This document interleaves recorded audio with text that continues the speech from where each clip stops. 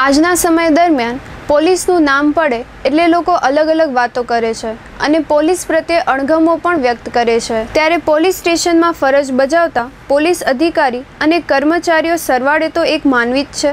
ત્યારે વાગડ વિસ્તારના રાપર તાલુકાના પ્રાંથણ વિસ્તારમાં આવેલ બાલાસર પોલીસ મથકે ફરજ બજાવતા police sub inspector D R Gadhvi અને સ્ટાફના વિક્રમભાઈ દેસાઈ, રાજેશસિંહ જાદવ, રાજેશગીરી ગોસ્વામી, જેઠાભાઈ મુસાર, સુમતિભાઈ પરમાર, સંજય અબોટી, જોઈતાભાઈ, અમરસિંહ મોરી, નિલેશ રાઠોડ, જીઆરડી જવાન સહિતના પોલીસ કર્મચારીઓએ પોલીસ મથકમાં આવેલ કઠોળામાં ચારે બાજુ ચકલીઘર અને પક્ષીઓના માળા તથા પોલીસ મથકના પ્રાંગણમાં આવેલ વૃક્ષોમાં ચકલીઘર અને પાણીના કુંડ લગાવી અનોખી સેવા કરી રહ્યા છે.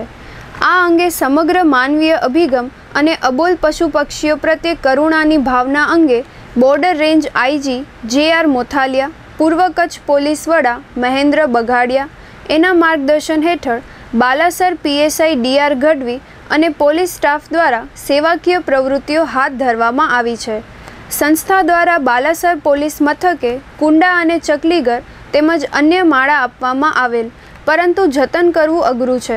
દરરોજ પાણી ભરવાનું, પક્ષીઓને ચણ નાખવા તેમજ દરરોજ સેવાકીય પ્રવૃત્તિઓ કરવી એ કપરું છે. હાલ કાળઝાળ ગરમીમાં અને બાલાસર ગામથી ત્રણ કિલોમીટર દૂર જંગલ વિસ્તારમાં આવેલ બાલાસર પોલીસ સેવાની ભાવનાએ આમ આદમીને એક અનેરું ઉદાહરણ પૂરું પાડ્યું છે.